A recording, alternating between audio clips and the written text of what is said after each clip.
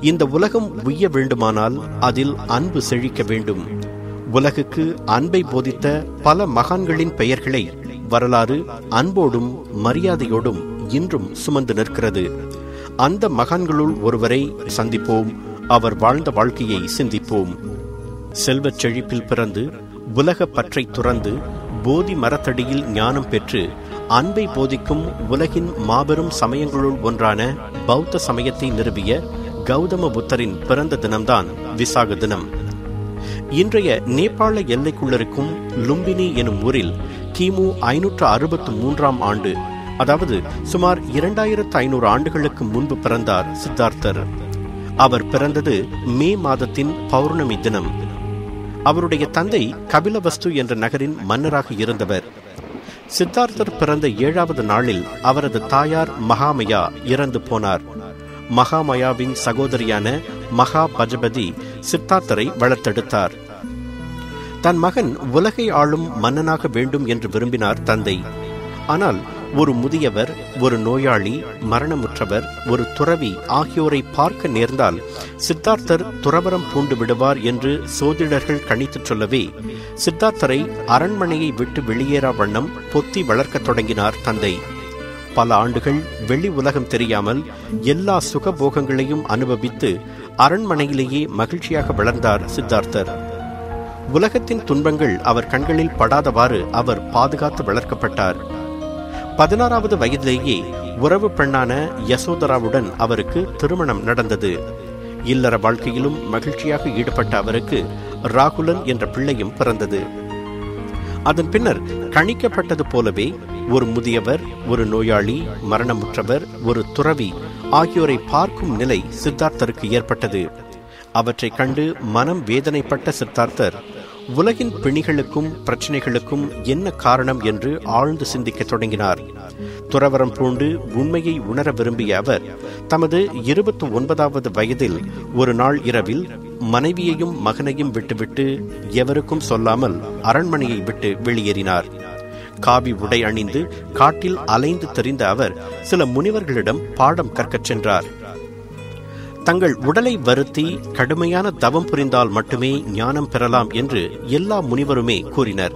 அதை கேட்டு பல ஆண்டுகள் தன் உடலை வருத்தி கொண்டார் சித்தார்த்தர்.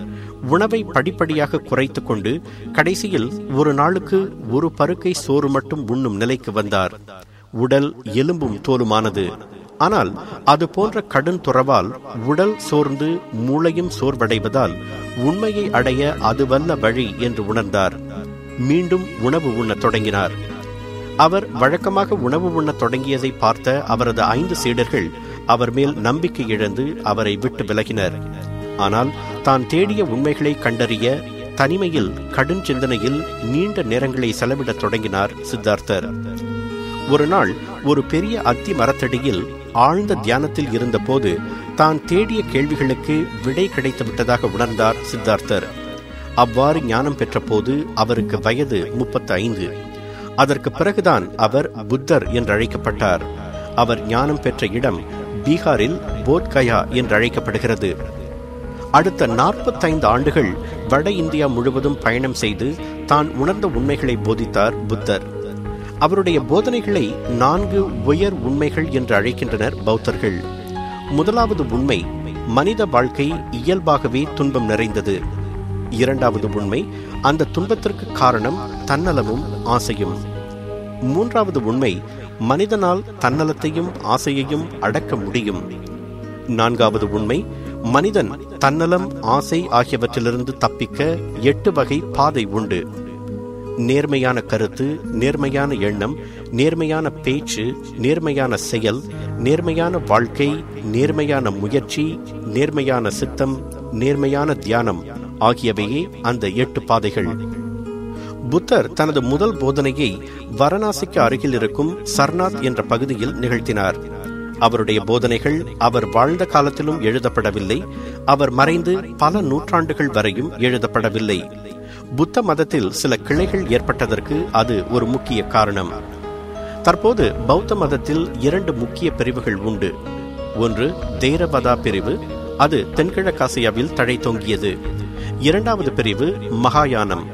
அந்த பிரிவு திபெத் சீனா வட ஆசியா ஆகியவற்றில் செழித்தோங்கியது. ஆசையே துன்பத்திற்கு காரணம். அறியாமையும் சாதி பிரிவுகளுமே துன்பம் அனைத்திற்கும் காரணம் என்பதுதான் புத்தரின் அடிப்படை போதனை. பண்பால் ஒரு மனிதன் அளக்கப்பட வேண்டுமே அன்றி பிறப்பால் அல்ல. பிறக்கும் போதே எவரும் உயர்ந்தவன் தாழ்ந்தவன் என்று பிறப்பதில்லை. அவனவன் செய்கையாலேயே அது நிர்ணயிக்கப்பட வேண்டும் என்றும் புத்தர் வலியுறுத்தினார். கிட்டத்தட்ட எண்பது ஆண்டுகள் வாழ்ந்து பல அரிய போதனைகளை தந்த புத்தர் கிமு நானூற்று எண்பத்து மூன்றாம் ஆண்டு உத்தரப்பிரதேசத்தில் உள்ள குஷி நகர் என்ற இடத்தில் காலமானார். புத்தர் பிறந்தது ஞானம் அடைந்தது இவ்வுலக வாழ்வை நீர்த்தது அனைத்துமே ஒரே தினத்தில்தான் அதாவது மே மாதத்தின் பௌர்ணமி தினத்தில்தான் என்று வரலாற்று குறிப்புகள் கூறுகின்றன. அதனால்தான் விசாக தினத்தை பௌத்தர்கள் சிறப்பாக கொண்டாடுகின்றனர். எல்லா மதங்களும் சமயங்களும் புத்தம் சொன்ன அன்பைத்தான் போதிக்கின்றன. அன்பு என்பதே தெய்வமானது என்பதை மீண்டும் மீண்டும் வலியுறுத்துகின்றன.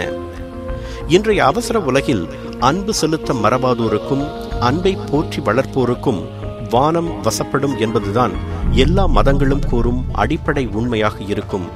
எனவே தொடர்ந்து அன்பு செய்து அதன் மூலம் வானத்தை வசப்படுத்துவோம்.